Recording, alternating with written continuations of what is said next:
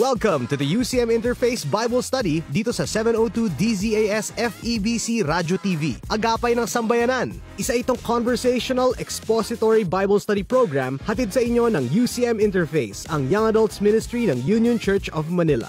We do our best to study context and let Scripture speak for itself. Ang programang ito ay isang teaching ministry ng Union Church of Manila, a church of many nations committed to making disciples who are transformed by the gospel of Jesus Christ.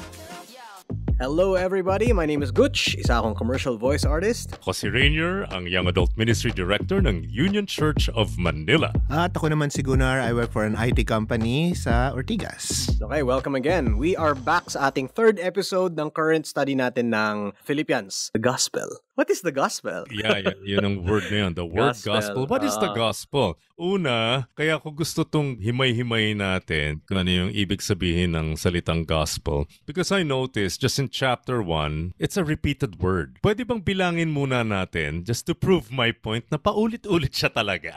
Is chapter 1. Yeah, bilangin lang natin. Kasi una kong nakita ito sa verse 5. Ang sinabi yung partnership in the gospel. Yeah. What does the gospel mean? Isa sa mga popular na narinig ko dyan, yung the first four books of the New Testament. Ayun. And there's a reason why it's called the Gospels. Hmm. Matthew, Mark, Luke, and John. But when you share the gospel, when you proclaim the gospel, what does the gospel mean? What's the Uh, popular definition? Essentially, pag sinabing gospel, ito yung itong way to be saved. Ah, So, okay. it's that's why it's a good news kasi parang sinasabi mo, you need to tell people how they can be saved. So, this is Ah, how. The how of getting saved. Okay, pero sige nga, tingnan nga natin kung anong ibig sabihin ng gospel based on what the apostles actually preached. What's the content of the gospel message that they preached? Pareho kaya ito dun sa atin, gospel message. Hindi naman natin ma-exhaust lahat for this episode. Gusto ko ang mangyari sa episode na to, simulan lang nating pag-isipan kung ano nga ba ang ibig sabihin ng gospel. All right, so this is not going to be a full orb discussion on the term gospel. Yon, yung the Gospel to describe the good news about Caesar Augustus. Okay, na okay. okay, papasok na siya, hari na siya, at ito yung itsura ng paghahari niya dito. Maganda na ang buhay natin, maayos na. Ah, okay. Parang may, may ganong angle. Of course, I'm, I'm butchering the quote. He said it in, in a better way. Okay. Oo, mag magandang English nun kasi British yata si Tom Holland, di ba? Oo, Oo. oo. Anyway, itong salitang ito, evangelion, is not a Christian or religious term. Kaya tama yung example mo, Coach. Itong word na gospel, evangelion, ito ay, in short ha, it's a royal proclamation. So, yun nga yung with Caesar na ito na, Caesar Oo. reigns. So noong first century, kapag narinig nila yung salitang gospel or evangelion, it's a word that's associated with the emperor cult. Okay, okay. Okay? So it's a secular term. Hindi siya religious term at saka hindi ito inimbento ng mga Christians. Ginagamit na ito noon. So itong lahat na ito tungkol dun sa emperor. So this is a royal proclamation at itong mga announcements na ito lahat tungkol dun sa emperor. So for example, the birth of an heir to the emperor. That's gospel proclamation. In-announce.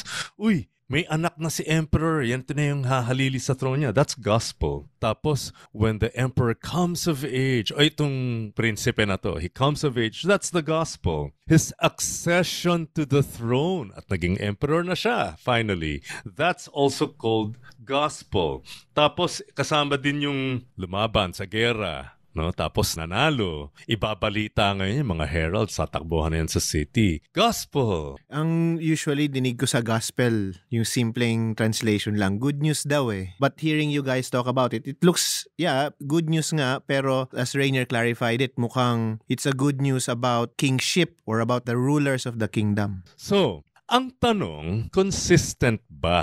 Kung ito ang definition ng mga pag narinig nila yung salitang evangelion, pag narinig nila yung salitang good news or gospel, nung panahon ni na Paul, ng mga apostles, when they were preaching the gospel, is it still a royal proclamation? Ganun pa rin ba? O iba na? Ah. Di ba? So titingnan natin. Sa akin naman, in preparation for this, I was just doing a search through my, uh, ito, from through my Bible app, yung Olive Tree. Siyempre, ang daming lumabas ng gospel, di ba? Pagka sinerch mo yung word na gospel. Eh. Pero just selecting even just one verse per book of the four Mhm. gospel accounts. So sabihin natin sa Matthew 4:23. So this is about Jesus. So he was Uh-huh. teaching in their synagogues and proclaiming the gospel of the kingdom and healing every disease and every affliction among the people.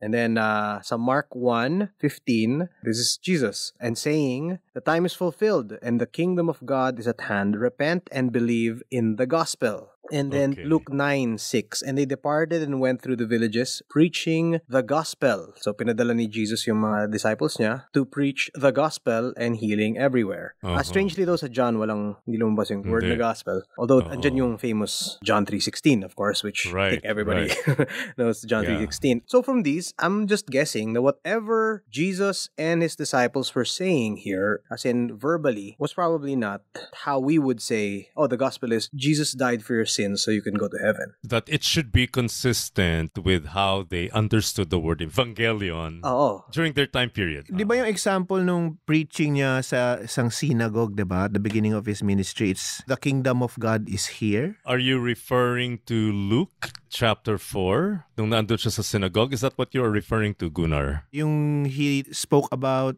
Isaiah, is that it? Yes. Ah, so yeah, That's Luke oo. chapter 4. Ayun nga yan. You open the scriptures. Oo. The Spirit of the Lord is on me because He has anointed me to proclaim the good news or gospel to the poor and Mm. so on and so forth. So, isa yun sa content na sinasabi ni Jesus, no? So, di ba? Oh, it, and it seems consistent to what I imagine uh, an ancient royal proclamation would be, no, secular or otherwise. Kasi Uh-huh, he's uh-huh. being anointed, so it, it's like he's he's being named or given some sort of authority, and as a result of that authority, these are the changes that are going to happen. At ito yung impact nito sa inyo, I mean, the public who are hearing this this news. May benefit siya sa inyo. Right. Okay, mukhang sinunod yung definition ng evangelion sa pagkakaintindi nila ng time na yon. Marami pang dapat i-unpack din dyan, Gunnar, pero halimbawa yung salitang anointed. What comes to mind is David when he was Yeah. chosen as a Oo. king Yes. or even yung mga successors niya. Hmm, the Very big anointed deal one. yung anointing, Right. no? Yes, Kailangan yes. inanoint by a priest sa isang lugar na duly authorized or recognized as you know, Right, the right. place where you anoint a king. So yung mga anointed ones sa Old Testament, yan yung people who were given, you know, very specific roles in God's plan. So halimbawa nga, sinabi mo, king, the king has to be anointed. Yeah. Even the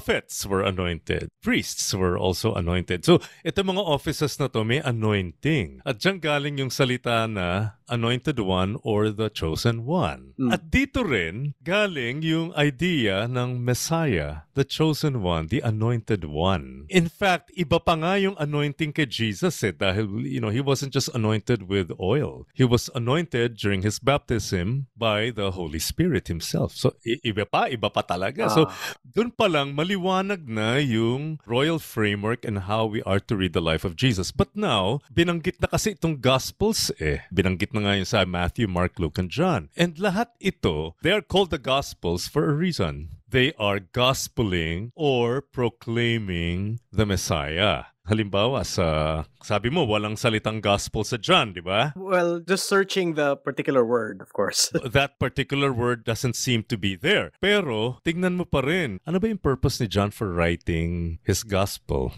Wait, nasa dulo yun. eh. Oo. Chapter 20, 31. But these have been written so that you may believe that Jesus is the Christ, the Son of God, and that believing you may have life in His name. Okay, so maliwanag, even in the Gospel of John, ang purpose niya is for his readers to know and believe that Jesus is the promised one. He Yeah, is the the, anointed one. He is the Christ. He is the, The Messiah, Messiah, right. aka the King. Ah. Nabasa na natin kanina, Luke chapter 4, at very clear din sa Gospel ni Luke na yan din ang mensahe niya, that Jesus is the King. Very quickly, let's go to Luke chapter 23. Yung lingwahe ng 23, lahat yan puro king, kingship although may combination ng mockery, mocking Jesus as king, and also a confession that Jesus is indeed the king. I'll just read from verse 1. Okay. Then the whole body of them got up and brought him before Pilate. And they began to accuse him, saying, We found this man misleading our nation and forbidding to pay taxes to Caesar, and saying that he himself is Christ, a king. Okay, So, clarify na Oo. Christ, a king. sa version mo, Christ. Sa version ko, Messiah. And then may merong may modifier, a king. Yeah. So this whole theme in chapter 23 is very, very obvious. In verse 3 pa lang tinanong, Are you the king of the Jews? And then he was mocked. In verse 11, he was mocked by the soldiers. Dressed him in an elegant robe. So ando na naman. Yung royal motif is there. Tapos ando na naman tung words such as inciting the people to rebellion, verse 13, and then insurrection in verse 19. Kahit bumaba ka pa dun sa verse 35, sabi, let him save himself if he is God's Messiah, the chosen one. Tapos verse 36, if you are the king of the Jews, save yourself. And then verse 38, there's that inscription, this is the king of the Jews. Tapos verse 39, ito yung isa dun sa mga criminals who's mocking Jesus. Aren't you the Messiah? Save yourself and us, no? So paulit-ulit yan, yung theme na yan. Meron talagang royal context ito, itong gospel ni Luke. Until may nagsabi talaga. Ito yung isang criminal and he said in verse 42, Prior to that, he admitted his own misdeeds, his sins. And then he said in verse 42, Jesus, remember me when you come into your, Your kingdom. Kingdom. Which means, He's a king. He acknowledged that Jesus is a king. So, sa Luke, kita yan. Sa John, kita yan. Simulang simula pa lang sa Mark, sinabi niya agad ni Mark, this is the beginning of the good news about Jesus, the the Messiah. the Messiah, the Son of God, as it is written in Isaiah the prophet, etc., etc. Malinaw. Even in Matthew, grabe yung kingship motif. Tsaka dun sa synoptic gospels, kaya may genealogy lagi sa simula, I suppose. Yes. Halimbawa nga, I was about to go there, yung genealogy sa Gospel ni Matthew. Well, in Luke also, but in Matthew nakakatuwa kasi hinati niya into three sets of 14 generations. Yung genealogy ni Jesus. Bakit three sets of 14?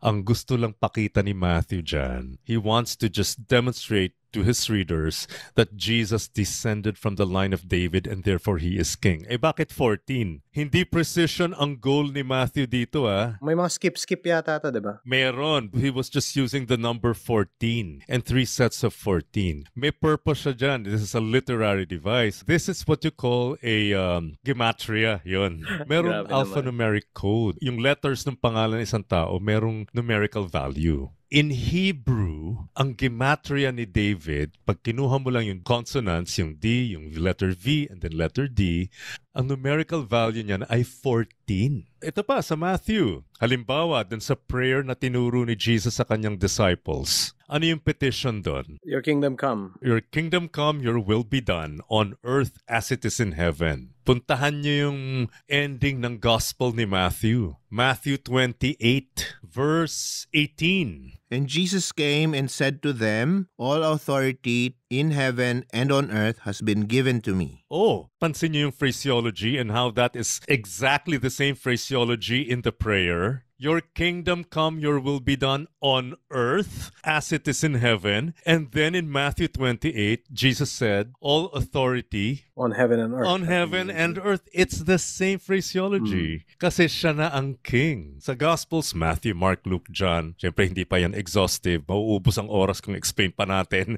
okay, Yeah, but just to give yeah. our listeners an idea that this is the main idea of the Gospels. They are called the Gospels for a reason. Because the Gospels that they wrote Royal proclamation yan. They're presenting Jesus as king. Jesus is king. Ngayon, puntahan natin. Ano ba yung message nung apostles, even Paul, when they were gospeling? So this would be sa Acts na. Oh, sample lang to ah. Sa book of Acts. Sige nga. Acts chapter 8 verses 4 to 5. Si Saul persecutes the church and then Yeah, Ah, oh, si this Philip is. Philip. Sige, si Philip. Philip. Okay. Therefore, those who had been scattered went about preaching the word. Philip went down to the city of Samaria and began proclaiming Christ to them. proclaiming Christ to them, proclaiming the Messiah there. Itong preach dito is actually gospeling. They went gospeling about. Okay. Ano yung ginagospel niya? Jesus Christ. Jesus is the Christ. Mas maganda siguro, mas malinaw kung gamitin natin Jesus the Christ. Alam mong problema, akala nung iba apelido ni Jesus yung Christ eh. Nakakalimutan na oh, it's an honorific yeah, title. the Christ. Which means king. Mm. Binasa natin kanina yung reference sa Luke 23. Pag sinabing Messiah or the chosen one, that means king. He was proclaiming to them that Jesus is king. He is the Christ. And in particular, I suppose he was explaining why if he's really a king, the question probably in his audience minds is, bakit siya namatay? And so Oo. here is Paul teaching them, yeah, it's necessary for him to die. And he rose from the dead. Alam, ito yung mga content na mahalaga eh, sa gospel proclamation, lalo na kay Paul. Well, sa lahat naman ng apostles, palaging ganun. Pinokompleto nila yung kwento ni Jesus. So, chapter 18, verse 5 naman. Book of Acts pa rin tayo. But when Silas and Timothy came down from Macedonia, Paul began devoting himself completely to the word, solemnly testifying to the Jews that Jesus was the Christ. Oh, pareho pa din. In fact, kahit basahin nyo pa yung unang-unang gospel sermon kay Peter sa Acts chapter 2, first evangelistic sermon, ay patungkol pa rin sa kingship ni Jesus. So, yun ang pinaka-focus nun. Kasi nga, pag sinabi nga nating Christ, King, hindi naman siya parang spiritual affairs lang yung pinag-uusapan. Lalo pa, ang pagkaintindi nila sa salitang Evangelion is a royal proclamation. Pertains to the emperor, to the life of the king. So, eto din yung consistent naman talaga. Ito din yung tinuturo ni na Paul at ng mga apostles that this is all about Jesus the King or the Messiah. So consistent, di ba? Yeah. At si Jesus naman, ang pinoproclaim din niya ay yung kanyang kingdom. Kung babalikan natin yung accounts ng Gospels, nagbigay na tayo ng mga ilang examples kanina, pero isang halimbawa, balikan lang natin yung Mark, no? Kung mapapansin ninyo, itong Mark chapter 1, verse 1, so sinabi nga niya agad the Messiah, or meaning the King, the Son of God. Importante itong title na to na Son of God. Kaso masya, I, I think we have uh, assumed that we understand what it actually means. Right away, we think in terms of, oh, Son of God, that's the second person in the Trinity. May background pa to eh. Bakit Jesus is the Son of God? If He is the Messiah, He's the Son of God. Pag pupuntahan mo yung Exodus chapter 4, 22 to 23, sino ba yon? Unang-unang son. Then you shall say to Pharaoh, Thus says the Lord, Israel is my firstborn son. And I say to you, Let my son go, that he may serve me. If you refuse to let him go, behold, I will kill your firstborn son. Who was Yahweh's son? Israel. Israel. It's the nation of Israel. Kaya pagpunta nyo naman sa Hosea chapter 11 verse 1, When Israel was a child, I loved him, and out of Egypt I called my son. who was Yahweh's son? Israel. Israel pa rin. Pero ginamit to kay ano, di ba? Kay Jesus din. Yes, That's right, we- yeah. that was alluded to later. Ginamit yan ng mga gospel writers, you know, out of Egypt I called my son, but now they're referring to Jesus. Why? Because the gospel story is the completion, it's the resolution of the failed story of Israel. Israel was called for a purpose. Israel was not called for its own sake. The light to the nations. Light to the nations. Pero pumalpak sila eh. But here comes the true Son of God, the anointed one, the Messiah who will fulfill everything. Kaya nga tingnan niyo yung ending ng ano, ng Matthew, ending ng Luke, you will be witnesses to all the nations, di ba? Matutupad ito dito sa Messiah, sa King. Okay, so ang gusto ko makita natin dito, like kanina yung binigay kong example kay Matthew, itong gospel proclamation, itong royal proclamation na ito tungkol sa buhay ni Jesus ay napaka-rich. Hindi ka pwedeng magsabing, oh, just believe in Jesus. You recite the sinner's prayer and you're good to go. But you don't even know who Jesus is. Ni Hindi mo pala alam na, ah, it's, this is a very rich story. The story is the resolution of the failed story of Israel. Kasama ang Old Testament dito. So we can't uh, separate. Hindi pwede. It's all fulfilling the Old Testament. Oo. Uh, and even Jesus was the one who said it, di ba na? Right. I did not come to abolish the law, but to fulfill it, to bring it to its completion. And also after his resurrection, sa Luke Chapter 24. is about Jesus. That's his claim. Yeah, if the gospel is a royal proclamation, at sabi nga natin yung evangelion sa context ng panahon nila ay tungkol dun sa buhay ng king, eh ganun din dapat ang pangunawa natin sa gospel about Jesus. Importanteng malaman natin yung buong buhay ni Jesus because that is exactly what the gospel means. The evangelion is a royal proclamation. This is about the life of the king. Yan ang pine-present natin. So when you are going to evangelize, si Jesus dapat ang ipapakilala mo and not reduce him to a mere mechanism. Paano kaya to? Paano nga ba kung ganun ka-truncated yung gospel message natin? Maniwala ka lang sa kanya, say the sinner's prayer, you're good to go. Paano kung ganun lang? Ano kaya maging impact nun if we don't understand the kingship of Jesus? In other words, anong impact ng forgiveness without kingship? Yung inisip ko, by removing or neglecting yun to teach yung kingship ni Christ, hindi na-emphasize yung response na kailangan from us. The response na kailangan from those who hear the gospel is submission. If he is king, ano implications nun kung king siya? Ayun. Surrender na. Then we are the subjects. So if we are the subjects, it means na hindi na tayo masusunod. Si Jesus ang masusunod. So ibig sabihin, may own ideas ka on what is right or wrong in your life and or how things should go, then that should all go out of the window. Kasi you there you ha- you now have a king. Iba na Okay. yung sinusundan mo. You are now, Yes. as in Paul's words, a servant. Right. Pero that's why the benefits are also equally important. Kasi he's not like any earthly king. Yung kapalit ng submission natin sa kanyang kingship is eternal life Right, and all the right. implications of that. I guess dito yung the beautiful picture of how grace fits in na tayo lahat ay mga rebelde kasi tayo eh. And yet, no matter yung background natin, no matter how ano yung mga pinaggagawa natin in the past, so how bad we think we are, we are welcome to receive this king's pardon. Gantong klase siyang hari na here, receive forgiveness. Not because of your merit, but because I am king and I am gracious. I forgive all who surrender to me, give allegiance to me. Pero lahat yan, they all flow out of yung pagiging Hari ni Jesus. hari ni Jesus because of his official capacity as a king. Kaya nga nung para dun sa early Christians, kapag sinabi nila at when they proclaim that Jesus is king, yari sila. Kaya sila napapatay eh. Kasi ang allegiance nila, first of all, ay kay Jesus na, not even to the emperor. Exclusive itong loyalty na to, itong allegiance na to kay Jesus. Kaya in a way, tama yung accusation sa kanila eh. In, in, If you look at it in an earthly point of view, yes, they are revolutionaries or rebels because yung allegiance ng puso nila is hindi na sa earth, hindi na sa earthly king. Right. Pero yun nga, right. yung, Oo. yung kingdom is very different. Sabi nga ni Jesus himself, my kingdom is not of this world. Yun Oo, din. Yun yung hindi nila nagigets. Oo.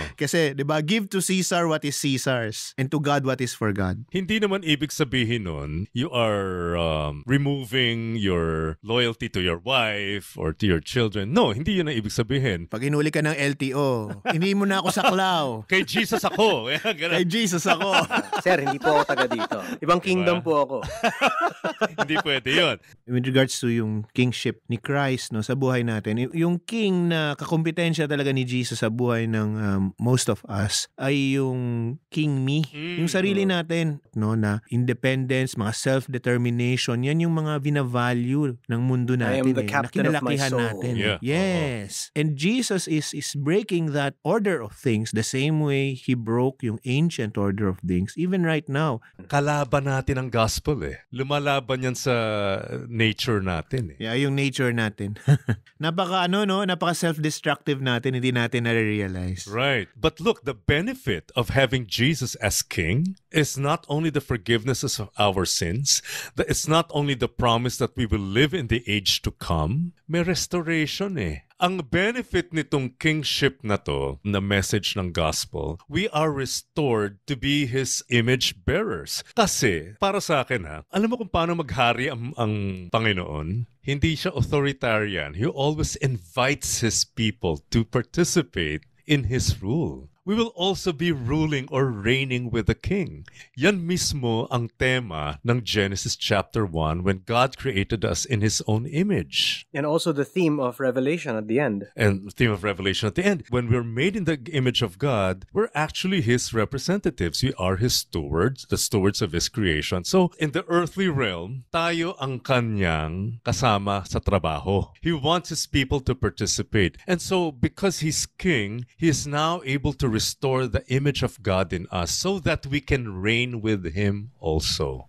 And that begins with forgiveness. We have to be forgiven. Yes, we have to be restored. We have to be restored to receive the forgiveness that the king offers. Yes. Okay? So So that's a, a more robust picture. Yeah, at isa pang benefit nitong ganitong pananaw sa gospel proclamation, the kingship of Jesus. What is the kingdom of God like? What is his rule like? Ano yung sinabi niya sa disciples niya? Di ba sinabi niya that in his kingdom, the first will be last and the last will be first? That Jesus, the king, came not to be served, but to serve and give his life as a ransom for many. Gantong klaseng hari siya. Wow. Ganitong klaseng hari siya. Therefore, anong klaseng servant ako dapat? Sino ang model ko? Ako bilang subject, servant, yun din ang susundin ko. Importante to dahil nga, okay, hindi pwedeng transaction lang ang gospel. Like a way out of punishment or hell, escaping hell. But because Jesus is king, I also have to follow his example, his model as the leader. So, how do you now proclaim this message? How do you do that? Paano na to? How can you effectively proclaim this royal message? Um, I, I I'm sure this is not the complete answer, pero I think one component of that would be living a life na reflects that truth as well. And on the other hand, when you proclaim the gospel to others who don't know Christ, Let's say when we talk about faith, faith in Christ, faith in King Jesus, I would use loyalty. I would use allegiance. Kasi diba yung faith in Greek is pistis, Pistis. Oo. which is loyalty. So again, yun nga, I, I, I will not contest when people use trust, belief, relationship. That's Pero sa right. akin, personally, I prefer to use loyalty. Kaya nga mas mas bagay nga yata yung ano eh, instead of faith, pwede mo nga gamitin yung word na allegiance or loyalty. Ang ganda nga ng Tagalog word. eh. Kasi di ba pag sinabi natin faith, usually belief, mental. Pero pag tinagalog mo ang faithful, faith, Oo, faithful, oo, tapat, oo. Tapat. Katapatan. Oo, katapatan. which is Tama. loyalty. Di ba? Tapat siya. mhm. Katapatan. Kasi hindi lang siya yung naniniwala ako. Yan, naniniwala. Oo, yun. yun Hindi yun hindi yung- lang ganun eh. That's just one aspect of pistis. But faith could also mean allegiance oh, in scripture. Katapatan. Sige, ah, kung kung may tanong pala kayo tungkol dito, Probably a lot. oo, kasi hindi natin kayang i-discuss lahat, I can recommend some resources. At salamat dun sa nag-email. May nag-email na nga eh, humihingi ng listahan ng commentaries na ginamit ko dito sa pag-aaral ng letter ni Paul sa Philippians. So if you Oh, want nice. to study more about like the word faith or pistis and why it means allegiance and why the gospel is a royal proclamation, I can give you some references of some books that you may want to to read. You can use um ano ba yung ginagamit natin? well, yung ginagamit natin dito for our podcast is ucminterface at gmail.com. Okay, they can send through UCM interface at gmail.com. Okay, sige. That good. would be okay. So there. Sufficient. Okay, so that ends our discussion on Philippians, a special episode on the gospel. We'll continue our journey through Philippians on the next episode coming up in a few weeks. Pero, yun nga, for our listeners, you've heard the good news about Jesus, the merciful King who offers pardon to all who give their full allegiance to Him. I guess yung tanong na gusto namin iwan sa inyo is, um, is Jesus your King? Is He really King over your life? Hope to see you in the next episode. Thanks a lot, and God bless. God bless. Bye-bye. You have listened to the UCM Interface Bible Study here at 702 DZAS FEBC Radio TV, Agapay ng Sambayanan. Please like and subscribe to our YouTube channel, 702 DZAS FEBC Radio TV, and Facebook account, 702 DZAS FEBC Radio. Hear our full episodes on Spotify, YouTube, Apple Podcasts, Google Podcasts, at marami pang iba. Join us at Union Church of Manila, Rada, Corno Legazpi, Makati City.